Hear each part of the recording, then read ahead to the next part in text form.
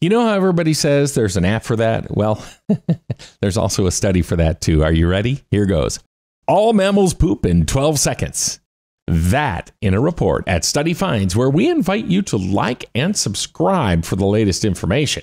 Okay, and here's the kicker that includes you. Now, I don't mean to be disagreeable here, but I can guarantee you that it doesn't take everybody just 12 seconds to drop a deuce. But let's see what the study says anyway. Researchers at Georgia Tech, your tuition at work, parents. Researchers at Georgia Tech note that their discovery is significant because the amount of time it takes to lay cable was the same for all mammals, despite some having much longer rectum. We're going to use all the terms, I guess. Despite some having much longer rectums than others.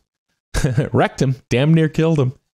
to put that in perspective, an elephant's rectum is 40 centimeters long, 10 times the length of a cat. You know, there's some things I just thought I would never say, and that's one of them. So, knowing that fun fact, authors wanted to ask how is the duty done in the same amount of time? So, why did they want to know? Was there a grant out there, some legislation that was debated on the Senate floor? I would love to hear that discussed. Don't they come to think of it, you know, they discuss that kind of thing all the time on the Senate floor, don't they? Anywho, so the answer is mucus. Mucus keeps the captain's log entries on time, according to this new research. The team discovered the slimy substance covers the lining of the large intestine, and in larger animals, they found there's a much thicker layer of mucus to help the prairie dog move along, so to speak. So, how do you measure that? I mean, especially in an elephant. I mean, and, and what does the elephant think? You know, hey, Fred, I'm up on this ladder here. Hand me that ruler so I can measure the thickness of the mucus. So while it still winds up taking larger animals 12 seconds to complete the process, their payload is zipping along at a much quicker pace. Researchers say this is important because it's entirely possible that without this newly discovered mucus lining, pooping might not be possible.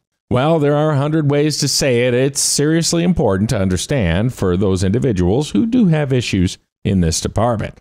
Unfortunately, I can't help but devolve into a third grader when this subject comes up. So, yes, everybody poops. Everybody poops in the same timely manner. And incidentally, this is the same group that discovered that all mammals urinate in the same length of time, too. well, there's a surprise. By the way, did you know there was an app now that actually tells you when somebody's pooping? it's called Words with Friends. Find more details on this and other studies at studyfinds.com.